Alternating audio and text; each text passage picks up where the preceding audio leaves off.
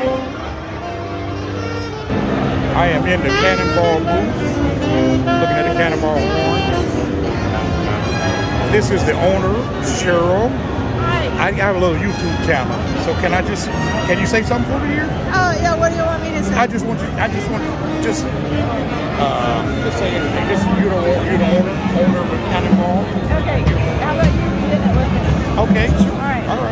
Hi, this is Dave Saxologist here at the Cannonball booth with Cheryl. Hi, I'm the owner of Cannonball, or one of the owners. I'm the Oh, CEO. yes, I was yes. just delighted to meet Dave today. Thank you so much, Cheryl. I really appreciate you. Thank All thank you. All right.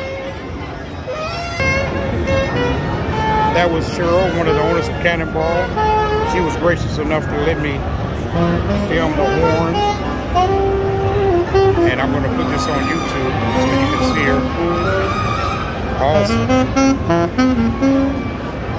Baby soprano here. Look at this one right here. Love this one.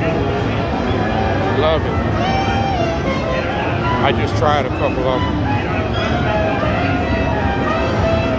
It's off the chain. So now we'll come over back over here to P. Mauriat. I was here yesterday looking at their beautiful horns. Look at them some more. That's P. Mauriat right here. Look at all this. Some of the best looking horns around.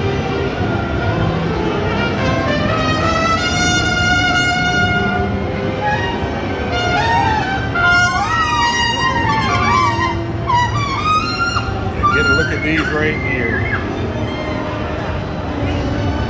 My, my, my. Look at these lovely horns.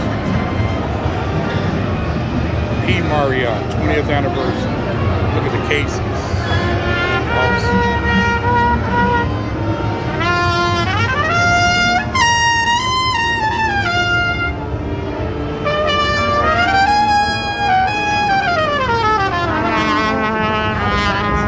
Trumpets going here.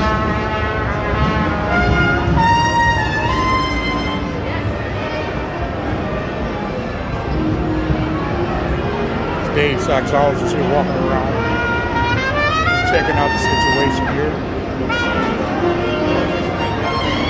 Over here at the BG, the BG booth.